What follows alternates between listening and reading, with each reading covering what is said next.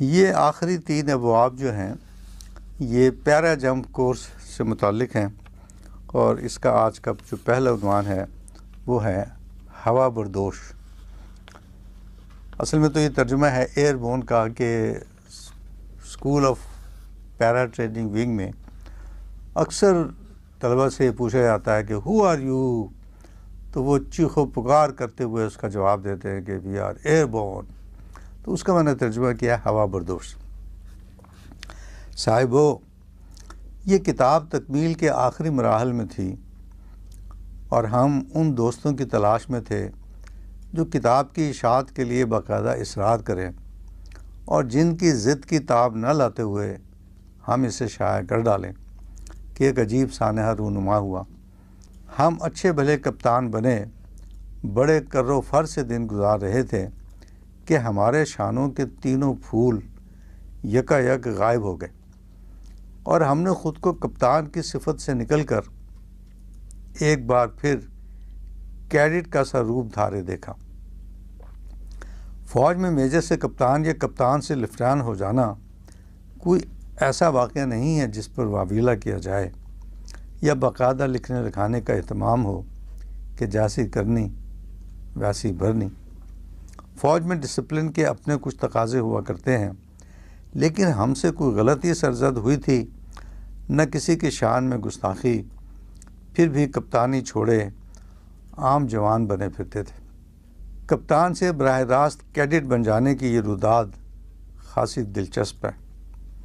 اس حادثے سے ہم اکیلے ہی متاثر نہیں ہوئے تھے، بلکہ ہمارے ساتھ ایک انفینٹری یونٹ کے اچھے بھلے کرنیل کے یونٹ میں ہوں تو جن کی رضا کے بغیر پتہ لرز نہ پائے کرنیلی چھوڑ ہمارے ساتھ عام جوانوں کے صف میں شامل تھے۔ میجروں اور کپتانوں کا تو خیر شمار ہی کچھ نہ تھا۔ لفٹین بھی اچھی خاصی تعداد میں تھے اور کچھ تھے ہمارے سمندروں کے محافظ جو اپنی برف ایسی سفید وردیوں کو چھوڑ ہمارے ساتھ مٹی میں رلتے پھرتے تھے۔ اس حادثہ کے کرتا دھرتا ہے پیراشوٹ ٹریننگ ون والے کہ پیراشوٹ کی مدد سے اڑتے جہازوں سے چھلانگ لگانے کی تربیت دینا ان کے ذمے ہے۔ اس تربیت کو کامیابی سے مکمل کرنے والے اپنی وردی پر سینے کے دائیں جانب ایک خوبصورت سے ونگ کا اضافہ کرتے ہیں۔ یہ دو جانب پھیلے ہوئے خوبصورت پروں پر مشتمل ہوتا ہے، جس کے درمیان پیراشوٹ کی کشیدہ کاری کی ہوئی ہوتی ہے۔ بس ایسا ہی کوئی ونگ کبھی ہمیں بھی بھاگیا دل کے کسی کونے سے اسے پا لینے کی خواہش ابری اور مچلتے مچلتے اس خواہش نے بے تاب تمنا کا روپ دھار لیا۔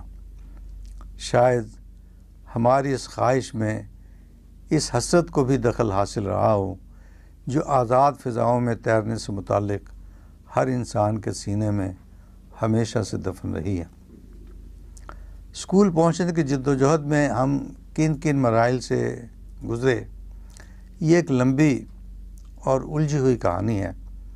اور اچھے لوگوں کا کہنا ہے کہ الجھنوں کو عام کرنا مناسب نہیں۔ سو، آپ کو روداد سناتے ہیں اسکول پہنچنے کے بعد کی۔ لیکن پہلے ذرا اسکول میں رائج مختلف اصطلاحوں کو سمجھ لیجیے کہ ان کو جانے بغیر آپ اس روداد سے لطف اندوز نہ ہو سکیں گے، بلکہ یہ کہنا بے جانا ہوگا کہ اسکول کی ساری سرگرمیاں انہی اصطلاحوں کے ارد گرد گھومتی سٹاف ہمارے علم کی حد تک انگریزی زبان کے اس لفظ کے دو مطلب ہیں۔ ایک تو یہ کسی محکمے کے عملے کے لیے استعمال کیا جاتا ہے اور دوسرے ڈنڈے کو بھی اسی نام سے پکارا جاتا ہے۔ ہم جہاں تک سمجھ سکے ہیں اسکول میں لفظ سٹاف بیک وقت ان دونوں معنوں کے لیے استعمال ہوتا ہے۔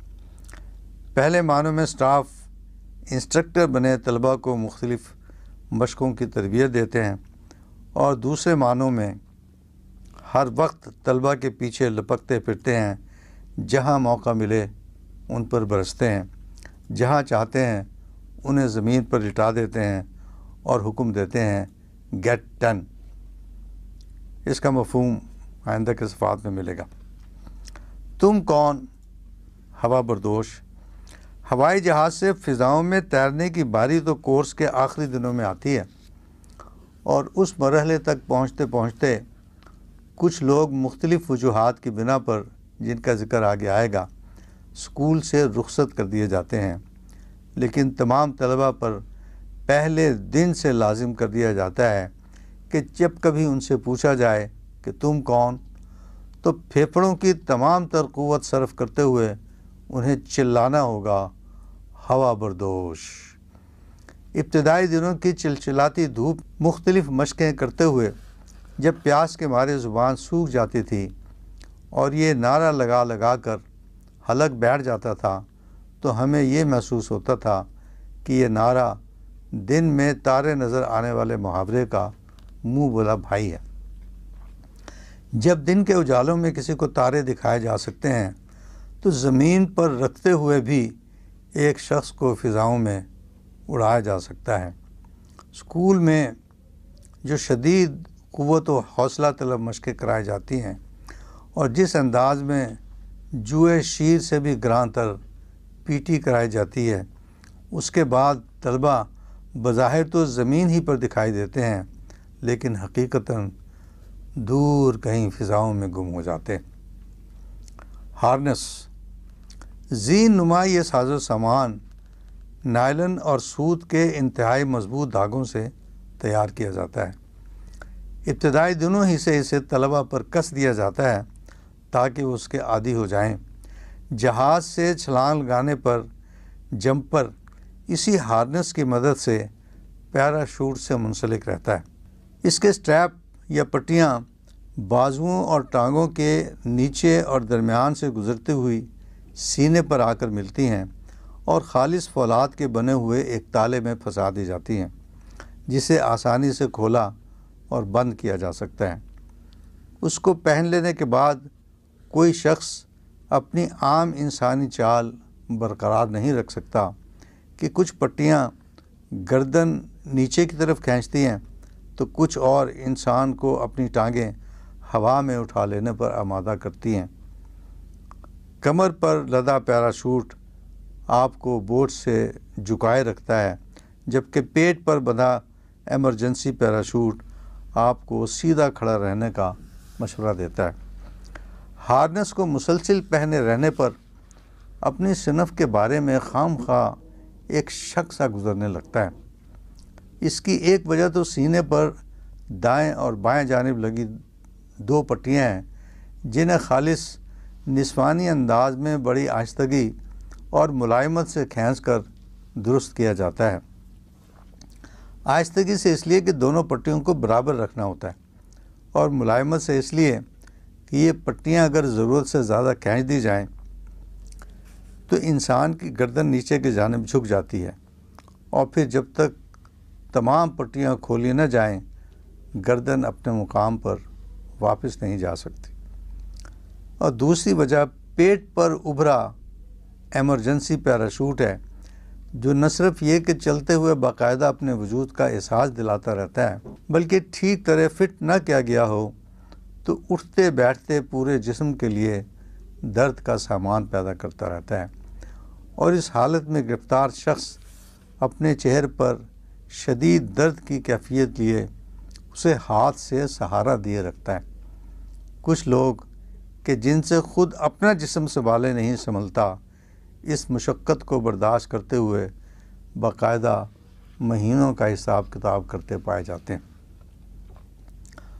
لفظ ماک کے بھی انگریزی میں دو معنی ہیں۔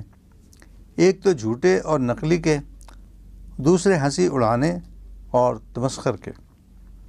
ہمارے نزدیک اسکول کے ماک ڈور دونوں معنوں پر پورے اترتے ہیں۔ پہلے معنوں میں یہ دروازہ جہاز کے اس حصے سے مشابہ ہیں جہاں سے چھلانگ لگائی جاتی ہے۔ بس فرق یہ ہے کہ جہاز میں دروازے کسی کنجوس کی مٹھی کی طرح بند رہتے ہیں اور صرف ضرورت کے وقت کھلتے ہیں، لیکن یہ دروازہ کسی ہرجائی عاشق کے دل کی طرح ہر وقت کھلا رہتا ہے۔ اور طلبہ کو بار بار اس میں سے چھلانگیں لگانے کی مشق کرائی جاتی ہے۔ دوسرے معنوں کا مظہر وہ حلیہ اور وہ انداز ہے جس میں طلبہ کھل جا سمسم قسم کا ایک ورد کرتے ہوئے اس دروازے سے گزرتے ہیں۔ اس ورد کا مخاطب دروازہ نہیں بلکہ وہ پیراشوٹ ہوتا ہے جسے جمپر اپنی پشت پر اٹھائے ہوتے ہیں۔ P L F. یہ پیرا لینڈنگ فال کا مخفف ہے۔ فضاؤں کو عبور کر کے جب کوئی جمپر زمین کے قریب پہنچتا ہے، تو پکے آم کی طرح دھپ سے زمین پر نہیں آ گرتا، بلکہ ایک خاص انداز میں زمین پر اترتا ہے۔ اس خاص انداز ہی کو پی ایل ایف کہتے ہیں۔ اسی فال کا اعجاز ہے کہ جمپر زمین پر آنے کے چند لمحوں بعد ہی لوٹ پوٹ کر پھر اٹھ کھڑا ہوتا ہے۔ پیراشوٹ لپیٹ کر ایک تھیلے میں ڈالتا ہے اور اپنی راہ لیتا ہے۔ اگر فال کا صحیح طریقہ نہ اپنایا جائے، تو وہ جس رفتار سے پیراشوٹ زمین کی طرف آتا ہے، بازو، ٹانگ یا سر وغیرہ توڑنے کے لیے کافی سے کچھ زائد ہی ہوتی ہے۔ اگر ہوا شدت سے چل رہی ہو، تو اچھے بھلے تجربہ کار لوگ بھی چکرائے چکرائے سے زمین پر نازل ہوتے ہیں اور پی ایل ایف کے تمام بھولے ہوئے سبق خود بخود یاد آ جاتے ہیں۔ Get ten. اس کا اردو ترجمہ تو دس لو ہی ہے، لیکن عملاً جب یہ الفاظ کسی سٹاف کی زبان سے ادا ہوتے ہیں، تو اس کا مطلب یہ ہوتا ہے کہ دس بیٹھکیں یا دس ڈنٹر نکالو۔ لفظ یا ذرا تشریح طلب ہے۔ جب کسی سٹاف کی طرف سے یہ پکار سنائی دے تو اس کا مطلب یہ نہیں کہ سٹاف طلبہ سے ان کی منشا دریافت کر رہا ہے کہ وہ ڈنٹر نکالیں گے یا بیٹھک۔ طلبہ کو ڈنڈ اور بیٹھکیں دونوں یکساں طور پر پر ہال دکھائی دیتی ہیں کہ ایک سے شانوں کی جان نکلتی ہے اور دوسری رانوں پر گراں گزرتی ہے۔ ایک سے ہاتھوں کے رگ پٹھے کھنچتے ہیں تو دوسری سے پنڈلیوں کی رگیں پھولنے لگتی ہیں۔ ایک سے بازوؤں کی مچھلیاں تڑپتی ہیں تو دوسرے سے ٹانگوں کی ہڈیاں چٹکتی ہیں۔ اس لیے اگر طلبہ سے یہ پوچھا جائے کہ وہ ڈنٹر یا اٹھک بیٹھک میں سے کس حرکت کی برکت میں اضافہ کرنا پسند کریں گے، تو وہ کسی ایک میں بھی ملوث ہونا پسند نہ کریں۔ لیکن یہ حکم ہے کہ عام حالت میں گیٹ ٹن کا مطلب دس ڈنٹر نکالنا ہے اور اگر ہارنس پہنا ہوا ہو تو دس بار اٹھ بیٹھ کرنا ہے۔ ہارنس پہن کر ڈنٹر پوزیشن اختیار ہی نہیں کی جا سکتی۔ پیٹ بڑا ہوتا ہے۔ یہ بیٹھکیں انگریزی میں لگانی ہوتی ہیں اور اسکول میں انہیں نی بینڈر کے نام سے پکارا جاتا ہے۔ انگریزی بیٹھکیں اپنی دیسی بیٹھکوں سے اس لحاظ سے مختلف ہوتی ہیں کہ دیسی بیٹھکوں میں تو بازوں کو سمیٹ کر اٹھنے بیٹھنے میں ان سے مدد دی جاتی ہے۔ لیکن انگریزی بیٹھکوں میں بازو پھیلا کر سینے کے سامنے کر لیے جاتے ہیں اور اسی حالت میں بیٹھ کر اٹھنا ہوتا ہے۔ گیٹ ٹین کا حکم صرف سٹافوں ہی کی طرف سے نہیں ملتا، بلکہ اسکول والوں نے جگہ جگہ سفید رنگ کے بورڈ لگا رکھے جن پر سرخ رنگ میں لکھا ہوتا ہے گیٹ ٹین طلبہ کو ہدایت ہے کہ ایسے کسی بھی بورڈ پر نظر پڑتے ہی وہ فوراً زمین بوس ہو جائیں اور دس ڈنٹر نکالیں۔ اس قسم کا ایک بورڈ اسکول کے صدر دروازے سے اندر داخل ہوتے ہی لگا ہوا ہے۔ اور صورت یہ ہوتی ہے کہ اسکول میں داخل ہوتے ہی طلبہ کا پالا اس بورڈ سے پڑ جاتا ہے اور وہ ہوا بردوش کا نعرہ لگاتے ہوئے زمین بردوش ہو جاتے ہیں اور بلند آواز میں چیخ و پکار شروع کر دیتے ہیں۔ ایک، دو تین چار۔ عام شہری جن میں طلبہ و طالبات بھی شامل ہوتے ہیں، دیر تک صدر دروازے پر رک کر ان فوجی طلبہ کے اپنے تعلیمی ادارے میں داخلے کا پرجوش منظر دیکھتے رہتے ہیں۔ اور جب خود اپنے اداروں سے کافی لیٹ ہو جاتے ہیں، تو مسکراتے ہوئے آگے بڑھ جاتے ہیں۔ یہ بورڈ آویزاں کرنے کی وجہ تسمیہ ہماری سمجھ میں تو یہی آتی ہے کہ اسکول والے دل کی گہرائیوں سے اس بات کے خواہاں ہیں کہ تمام طلبہ ہر وقت اٹھ بیٹھ ہی کرتے رہیں لیکن ظاہر ہے کہ ہر جگہ سٹافوں کو تو متعین نہیں کیا جا سکتا کہ اسکول میں پہلے ہی عملے کی خاصی کمی دکھائی دیتی ہے۔ چنانچہ سٹافوں کی کمی پورا کرنے کے لیے یہ بورڈ آویزاں کر دیے گئے ہیں۔ واللہ عالم بالصواب۔ آسائشی علاقے یعنی ریسٹ ایریاز۔ تربیت گاہ کی دونوں جانب آسائشی علاقے واقع ہیں۔ ریسٹ ایریا کے نام سے پکارے جانے والے ان علاقوں کی حیثیت بحر ظلمات میں پرسکون جزیروں کی سی ہے۔ ظلمات کو ظلم کے جمع کے ظلمات کو ظلم کی جمع کے معنوں میں پڑھا جائے۔ اردو میں اس کا ترجمہ آرام والے علاقے ہونا چاہیے، لیکن یہاں آرام کے جو مناظر دیکھنے میں آتے ہیں ان کے مد نظر آسائشی علاقے ہی ٹھیک ترجمہ ہے کہ یہاں آرام کے ساتھ ساتھ موسیقی بھی ہوتی ہے اور اس کی دھنوں پر ناچتے گاتے طلبہ بھی۔ وہ ایک گھنٹہ جو سٹاف کے زیر سایہ پی ایل ایف بناتے گزرتا ہے، یہ معلق ہارنس پر لٹکتے خدا خدا کر کے گزارا جاتا ہے۔ طلبہ کو ادھ موا کر دیتا ہے اور جب بازوؤں میں جان نہیں رہتی اور ٹانگیں جسم کا بور سہارنے سے انکار کر دیتی ہیں، آنکھیں مننے لگتی ہیں، تو حولدر میجر کی خوش کن سیٹی سنائی دیتی ہے۔ تمام کام ادھورا چھوڑ دیا جاتا ہے اور دوسری سیٹی بجتے ہی یوں لگتا ہے جیسے طلبہ میں ایک نئی روح پھونک دی گئی ہو۔ ہر کوئی پوری قوت سے آسائشی علاقوں کی جائیں پناہ کی طرف دوڑتا ہے کہ جہاں کھڑے ہونے کا کوئی انداز مقرر ہے نہ بیٹھنے کی کوئی ترتیب، کسی کو لیٹنے پر کوئی اعتراض ہے، نہ سونے پر، کسی کی افسری اس کے آڑے نہیں آتی۔ کوئی سٹیل ہیلمٹ کو سر کے نیچے رکھ کر زمین پر لیٹ جاتا ہے۔ کوئی دیوار سے ٹیک لگا کر آنکھیں مون لیتا ہے۔ کوئی زمین پر لیٹ کر ٹانگیں بینچ پر رکھ چھوڑتا ہے کہ شاید خون کی گردش ٹانگوں سے کم ہو کر سر کی طرف بڑھ جائے تو تھکن کم ہو۔ بہت سے لوگ پانی کے مٹکوں پر چھپٹتے ہیں، جن کے دائیں بائیں نمک کی ڈلیاں یوں رکھی ہوتی ہیں جیسے گائے بھینسوں کی کھرلیوں میں نمک کے ڈلے۔ مختلف مشقوں میں طلبہ کا بالٹیوں پسینہ بہہ جاتا ہے، جو جسم کے نمکیات اپنے ساتھ لے جاتا ہے۔ اس کمی کو پورا کرنے کا یہ اہتمام ہے۔ طلبہ مگوں میں پانی نکالتے ہیں، نمک کی ڈلیاں ان میں گھولتے ہیں۔ اور گٹا گٹ مگا خالی کر کے کسی اور کے ہاتھ میں تھما دیتے ہیں۔ آسائشی علاقے کے ایک کونے میں کینٹین نام کی ایک چیز بھی ہے، جو صرف طلبہ کے آنے پر کھلتی ہے اور ان کے جانے پر دل ویران کی طرح سنسان ہو جاتی۔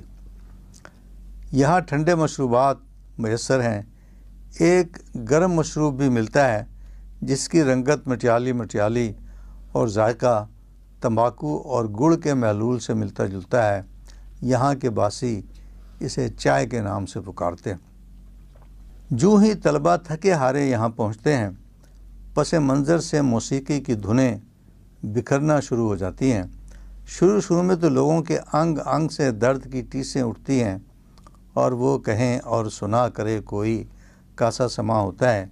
لیکن وقت کے ساتھ ساتھ جب ڈھیلے جسم کس چکتے ہیں، فالتو چربی پگھل جاتی ہے اور درد سے کراتے مریضوں کا ہجوم۔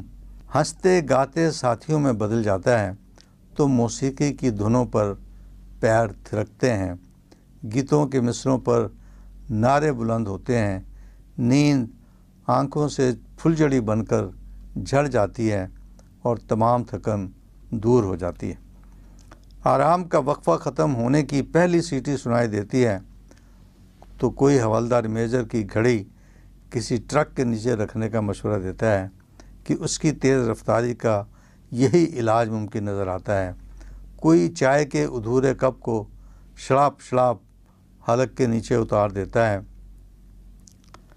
دوسری سیٹی ہوتے ہی سب لوگ ہوا بردوش کا نعرہ لگاتے ہوئے پھر طبیعتی میدان کی طرف لپکتے ہیں، جہاں پہلے سے منتظر سٹاف ان کا استقبال گیٹ ٹین کے نعروں سے کرتے ہیں۔ Steel helmet. کچھ لوگوں نے اسے عقل چوس ٹوپ کے نام سے پکارا ہے، جبکہ کچھ اور لوگوں کی رائے میں اس کا نام بال صفا ٹوپی ہونی چاہیے۔ اسے پہننے کے بعد عقل انسانی جس طرح آبی بخارات کی طرح ہوا میں تحلیل ہوتی ہے یا سر کے بال جھڑنے کا عمل جس تیزی سے شدت اختیار کرتا ہے۔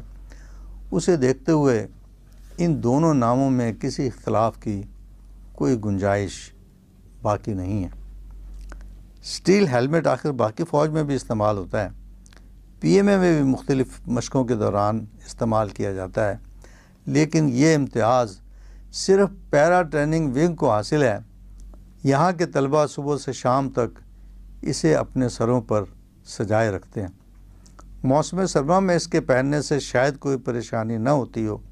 لیکن تپتی دھوپ کی بھری دوپہر میں جب اس سمیت تربیتی میدان کا بار بار طواف کرنا پڑتا ہے یا طلبہ کو پی ایل ایف کی مشق دیتے ہوئے مختلف بلندیوں سے گرایا جاتا ہے، تو پسینے اور خاک دھول کی تہیں سر پر جمتی چلی جاتی ہیں۔ ہوا چل رہی ہو تو باقی جسم کا پسینہ تو سوکھتا رہتا ہے۔ لیکن اس کنٹوپ میں ہوا کا داخلہ سختی سے منع ہے۔ نتیجتاً پہلے تو بال چپ چپانے لگتے ہیں اور پھر ہیلمٹ کی رگڑ سے اکھڑنا شروع ہو جاتے ہیں۔ اس ہیلمٹ کے آگے اور پیچھے وہ نمبر لکھا ہوتا ہے جو ہر طالب علم کو اس کی سینیارٹی کے لحاظ سے ملتا ہے۔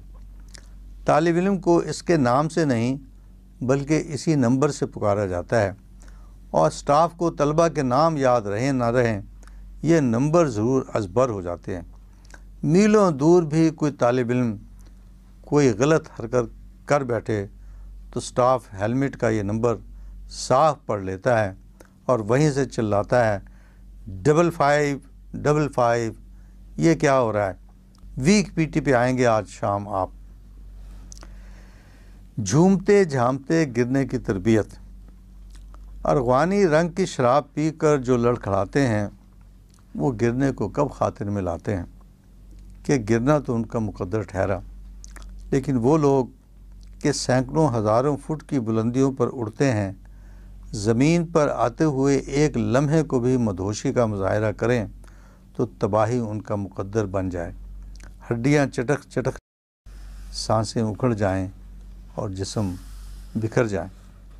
جب ہواؤں میں مستی کا عالم ہو اور جھونکے شدت سے چل رہے ہوں تو جمپر کو اور بھی محتاط ہونا پڑتا ہے کہ پیراشوٹ سے لٹکا وہ یوں ہلارے لیتا ہے، گویا آم کے درخت پر پینگے بڑھا رہا ہوں ایسی صورت میں زمین پر اترا نہیں جاتا، بلکہ جمپر دھڑام سے یوں گرتا ہے جیسے جھولے والا تنا تراخ سے ٹوٹ گیا ہو۔ ایسے میں کیا کیا جائے؟ یہی کچھ سکھانے کے لیے طلبہ کو ایس ایل ایف ٹی پر تربیت دی جاتی ہے، جو سوئنگ، لینڈنگ، فال، ٹرینر کا مخفف ہے۔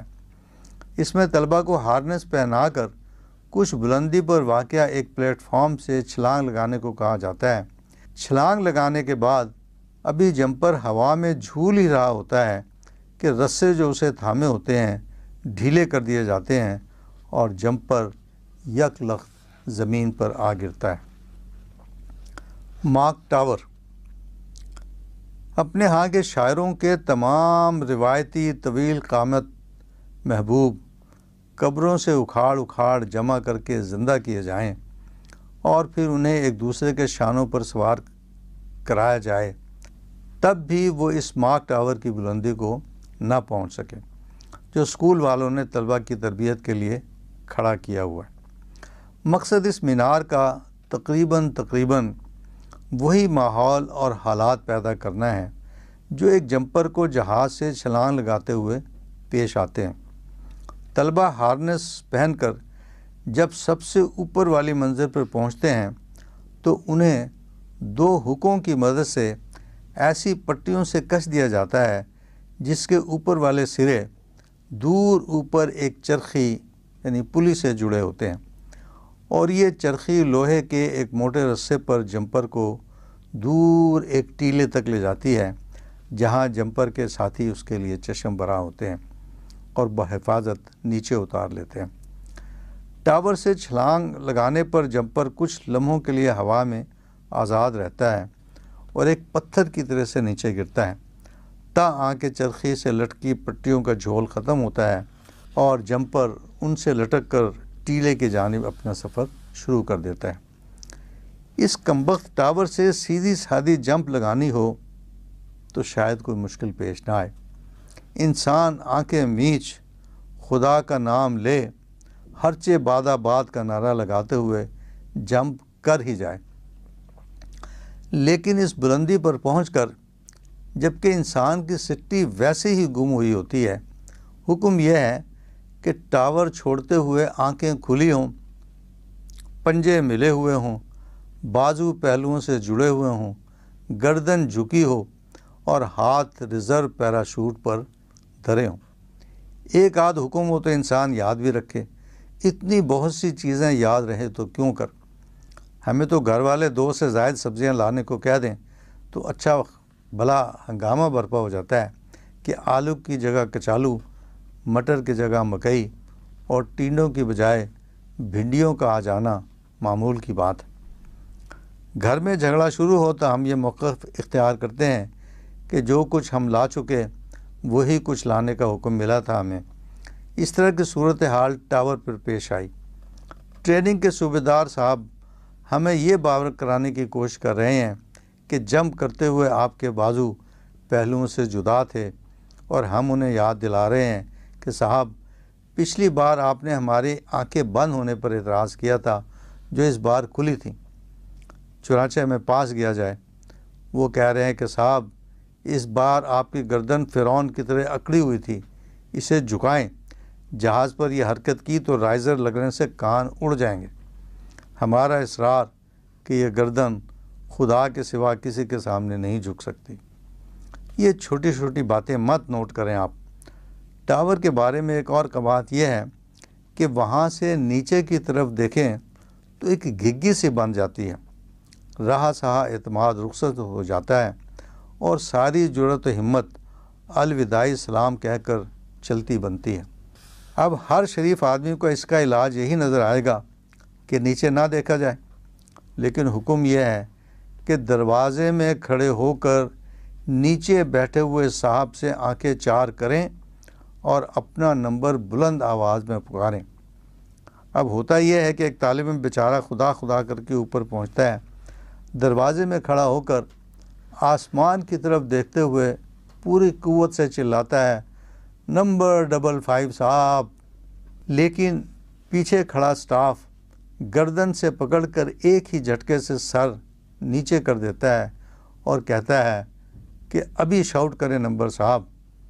اب وہی زمین کے جسے کچھ لوگوں نے دھرتی ماتا کے نام سے پکارا ہے اور کچھ لوگوں نے آغوش مادر سے تشبیح دی ہے، لپ لپ کرتی، ہڑپ کر جانے والی ایک بلا کی صورت دکھائی دیتی ہے۔ تب جو آواز صاحب کے حلق سے نکلتی ہے، وہ اس چویا کی آواز سے مختلف نہیں ہوتی، جسے بہت سے بچوں نے سنسار کر کے دم توڑنے پر مجبور کر دیا ہو۔ یہ مارک ٹاور جو ہے، یہ کہتے ہیں کہ یہ جس بلندی پر بنایا گیا ہے، یہ کچھ اس کا کوئی نفسیات کا معاملہ ہے کہ اس کی بلندی کچھ ایسی ہے کہ جب انسان وہاں پر جاتا ہے تو جس آدمی کے اندر بلندی کا خوف ہوتا ہے، اس کو وہاں پر بہت زیادہ خوف محسوس ہوتا ہے اور وہ نیچے دیکھ بھی نہیں سکتا چہ جائے کہ وہ وہاں سے چھلانگ لگائے۔ تو وہ لوگ جو کہ وہاں سے چھلانگ نہ لگا سکیں پانچ چھلانگیں لگانا ضرورت ہوتی ہیں اس مارک ٹاور سے اور وہ جو نیچے بیٹھے ہوئے سٹاف ہوتا ہے، وہ ایک ایک چیز کو غور سے دیکھ رہا ہوتا ہے۔ تو جب تک پانچ چھلانگیں ایسی نہ لگائیں جائیں جنہیں نیچے بیٹھا ہوا سٹاف سیٹسفیکٹری قرار دے، اس کو آگے نہیں بھیجا جاتا۔ تو بہت سے طلبہ ایسے بھی ہوتے ہیں جو مارک ٹاور کو کامیابی سے نہ کرنے کی وجہ سے اسکول سے رخصت کر دیے جاتے ہیں۔ اور وہ پھر جہاز پر جم کے لیے نہیں جاتے۔ تو صاحب، یہاں ان اصطلاحوں کی تشریح اور تعریفیں ختم ہوتی ہیں جو اسکول میں رائج ہیں۔ اب آپ ہمارے ساتھ اسکول چلیں گے اور یہاں جفاکشی کے ساتھ ساتھ جو لطیفے جنم لیتے ہیں، جو چٹکلے ابھرتے ہیں اور قدم قدم پر مسکراہٹوں کے جو پھول بکھرتے ہیں، ان کی خوشبوؤں سے لطف اندوز ہوں گے۔